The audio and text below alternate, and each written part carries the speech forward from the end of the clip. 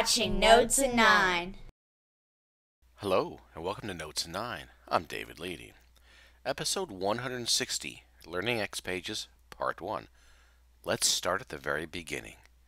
And no, I'm not going to sing that.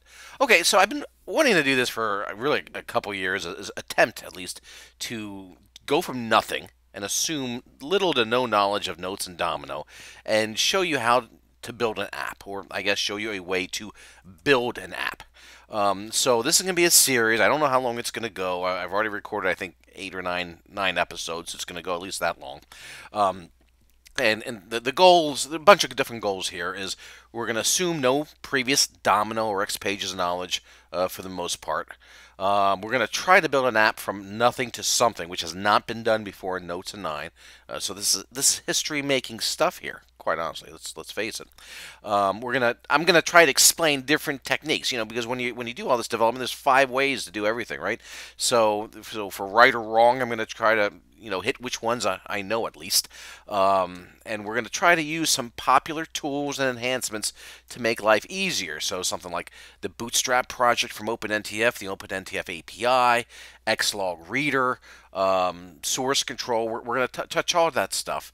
Um, and I'm I am going to assume that um, the the latest version is is in play because that's what I use and if, if you don't use that, then some things may be different.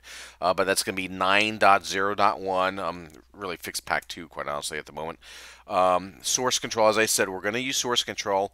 And don't panic, uh, but we're going to favor Java over server-side JavaScript. So um, we're going to do that so let's talk about that. Um, as I said, we're gonna we're gonna heavily kind of lean towards Java over server-side JavaScript. Um, it, it's we're gonna use server-side JavaScript, absolutely. We're gonna use it here and there, um, and, it, it does not mean that you need to use Java to build an X Pages app. I'm not getting into that debate. Um, it does not mean Marky Roden was right. Uh, because he wasn't. Um, and if you want any further discussion or, or want to review that debate, um, let's go to you can go to Notes 9 141 um, to, to see that. Uh, the main reason why I'm favoring Java is because um, I really want to get into the concept of a business API you know, and, and, and kind of show you how I use some of that stuff in the day job. Um, I'm also getting a bunch of emails from people asking for more of this. How do I get into Java? And especially in the X Pages context, because quite honestly, I don't, I couldn't help you get into Java without the X Pages context. Um, and and there's there's just more interest in that. So we're gonna we're gonna try to do that, and this is how I do things every day. Uh, so quite honestly, it's just a little easier for me. Not that this is gonna be the greatest app in the world. Um, uh, probably won't be. Um, but this is how I build apps. So this is how I'm gonna use this series. Okay, so when you think of an X Pages application, there's a, there's a bunch of best practices that I think are are kind of common or so. Um, what you really need to do, this isn't like the old days of the Notes client development where you could just sit down and code. And uh, again, I don't know how other, you know, what you can do with other development methodologies out there but you got to make a good plan first. You got to you got to do some low fidelity prototyping you know and what, does that mean? That's like that's like the mocking up screens. There's lots of apps and websites that let you do that and Balsamiq is a good one. If you just don't want to do that then yeah crayons can work too um, so make a plan try to stick with it kind of think it through before you even touch any any code Okay, that's that's the, the absolute number one best practice. Um, the next is to be very consistent in your coding. So do things the same way consistent, consistently. Um, it's going to help you when you come back to it maybe six months later. It's going to help you develop good habits. Uh, you just want to be consistent, not across the board. Yeah, but that that's not going to work for me in this series. Um, so do as I suggest you do as I say it and, and not as I do, uh, because quite honestly, I'm just going to make this up as I go. Um, again, I have built some episodes ahead of time, but but not too far. Um, I only have so much time for notes in nine, so if I sit down and do a mass plan, uh, then I'm never going to get the series out. Uh, I'm also really not going to be consistent. I'm going to jump around, I'm sure, because, you know, just the nature of working with the videos. And, and I do want to show you multiple ways to do the same thing. And I'm not saying the one way is right and the other way is wrong or so, but just in, a, in my attempt to kind of go through this, it's going to be inconsistent, okay? And again, like I, I've only planned this so much. Okay. Uh, another thing in this series that, that you do need to keep in mind is uh, I'm really not the greatest XPages developer in the world. Um, there's a lot of smarter people out there, and he um, uh, and and they um, hang out in Stack Overflow. Uh, but I try, you know, so I try to be better um, every day, which I, I, assume you do too. Um, so if I do something wrong, feel free to leave a comment. Um, I don't know how far I'm going to take this because actually there's other apps I want to build and I'm going to try to record those. Um, so this app that we're going to do is kind of like a, a contact management type app, very very common. But I want to do something for my tree in a truck kind of thing, which which I think I talked about a year or so ago, um, and that's that's actually coming up soon for Thanksgiving. Uh, everyone wants to do a project tracker help desk, so I might as well get in on that too. So hopefully this won't be the only app build I at least attempt. So so the future of this series and the video um, really depends on you um, and and your involvement on on how it goes. So so I want you to I would like you to ask questions and and and make comments on the website, uh, make suggestions because again, um, it's it's really kind of like you know I'm only going to show you so much, so I, I, could use other people to help fill in the blanks. Um, and if there's a right or wrong, better right or wrong, or if there's a better way, then uh, I'd be interested in hearing it myself. Um, finally, uh, trap it up that uh, I stole this uh, title um, from Declan Lynch's original blog series. Uh, he did this amazing 54 part series when no one else was doing uh, putting out material back in the day. Uh, so I did want to kind of honor him. Um, the future shows are going to have very little inter- introduction. We're going to just kind of get right into it because I assume you might watch a show, a show, a show.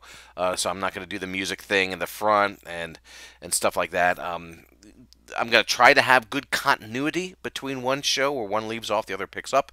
I'm not quite sure how successful I'm going to be on that. And somewhere in the middle of the series, I am going to jump my resolution to the bigger resolution, which I've been talking about the last couple shows.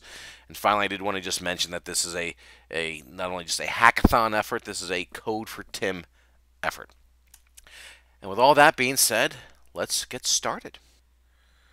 Okay, so I went through the install on the Domino Designer file uh, which I installed the Notes client, the Designer client, and the Administrator client. I've installed the fix pack, and now we're ready to uh, fire it up. I've got my ID file here. That was previously given to me from my administrator, which is my uh, puppy.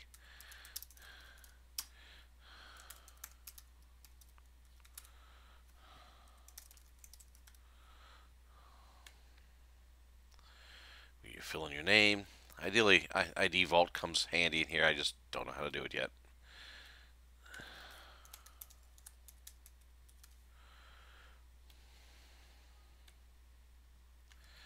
Yeah, I might have had that wrong. Oops. Okay, so we browse to our file. I had put in that up the, the IP address for the server so it knew where it was. We click open.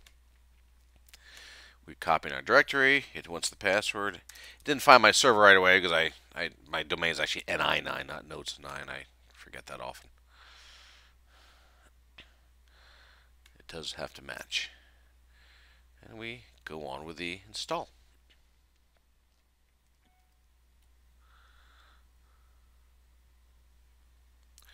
Okay, and now we have notes running. Okay, but this is so uh, useless uh, to me. Uh, I don't know why they have it in the product. Um, so we're going to come here and we're going to go to um, Applications, Workspace. I'm going to say Set Bookmark as Homepage. This is the way it used to be. This is the way it should be. It just should be a better workspace. So we can now have tabs, almost like an iPad, really. Um, but tabs for all our applications, our templates, um, etc. Okay, now before we do anything else, we're going to close this down. And we're going to open Notepad. And we're going to make an adjustment here. And I forget if I'm going to need to do this as an administrator or not. So we're going to just try it. So we're going to go to our computer. And we're going to go to our install directory, notes, data. I think it's, um, that's not it.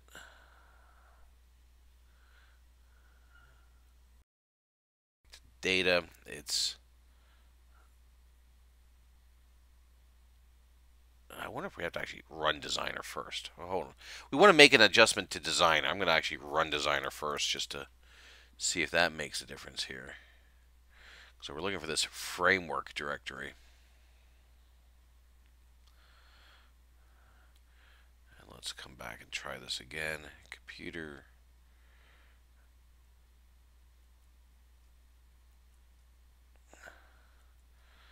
Notes. There it is. That might not have been, I forget if that was there or not, but we went in here. So framework, RCP, uh, is it deploy? JVM. We want to update this file. we'll try open with notepad and eh. all right we'll just do this way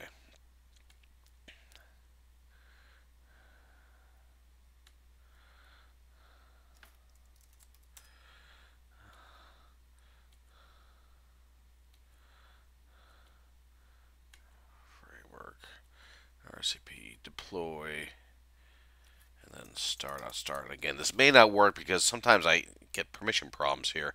I have to run Notepad as administrator. So what we're going to do is change these three numbers here.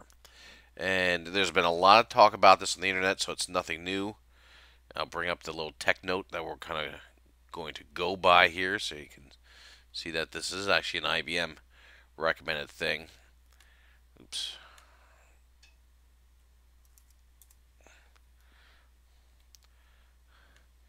Is we want to basically hit these numbers here, uh, assuming you've got at least 2 gigabytes of RAM.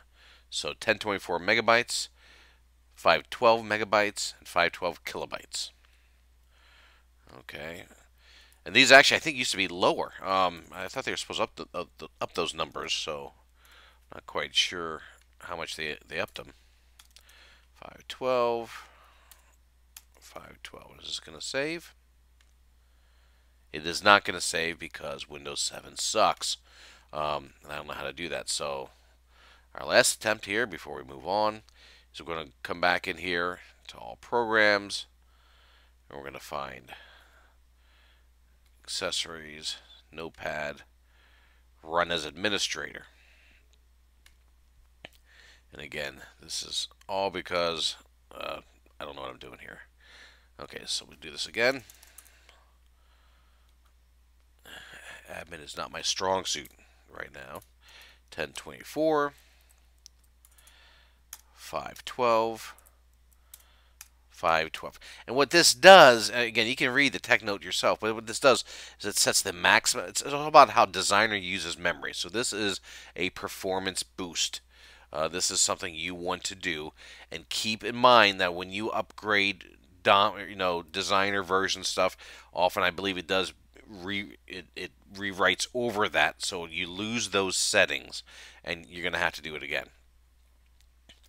So now if we go back into Designer, there's a preference here where you can kind of watch this a little bit. Preference uh, under General, Show Heap Status. Uh, again, that's like your available memory. So again, it's it's of right now we're not using much because I don't have any databases open. But as databases get open, you'll see it it grow and we up the limit um, to a, gigabyte basically. And that is uh, probably the most important tweak you, you will want to do here. Now, the next thing you might want to do, and I, I, usually do, I don't always do all of these, I just do some of these, is, but if you if you go to Nathan Freeman's blog, he's got a PDF. oops, I might not even have a PDF viewer installed here. All right, well. Okay, so if you go to Nathan Freeman's blog, The Rabbit Hole. He's got a great document here on what he calls taming Domino Designer. And he's got all sorts of preferences and, and things of that nature. So I highly recommend you check that out. Now, again, I don't do all of these, um, but, but I do do some of these all the time. Um, so if we go into preferences, um, you know, for instance, spell check, somewhere you can turn the, uh, uh, it's under, actually, it's under general, editors, text editors, spelling. So uh, you don't need to have spell check going on in your code, uh, typically, um, for your variable names and, and whatever else. Another one I like to hit is under XML. And there's XML files, then editor, line width, you know, for gosh, they bump that up because uh, most of us do have bigger um, screens. Um, I like to do this split multiple attributes on each line. I think that's a little easier to read. Um, content assist. He recommends turning this off. I, I quite honestly I forget what that one does. Um, so I'll, turn it off for now and see what it does. Um, and we don't really need to mess with grammar. I don't think so. I do like this one, this syntax coloring. So this is what your your syntax coloring looks like. I do kind of like this um, data one that he suggests turn the background to like a nice little yellow, and that highlights basically your your server-side JavaScript or, or, things on the page or so. So I, I, I kind of like that one. Yeah, close that preferences, come back in here, and let's go up to Java because if you follow these videos, you are going to be doing some Java um, at some point, ideally. Um, editor typing, and we're going to automatically add some semicolons and braces at the correct position.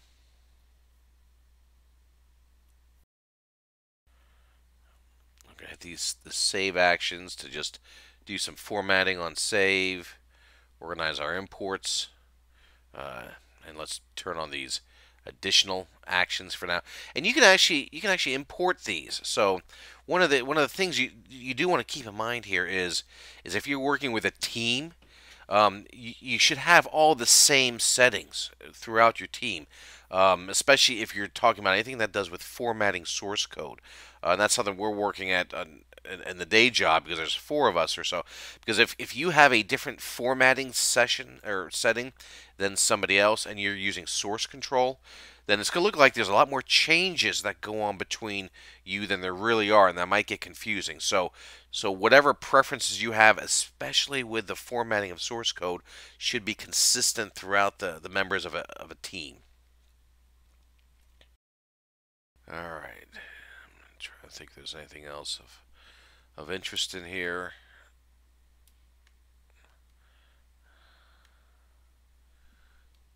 Under general appearance.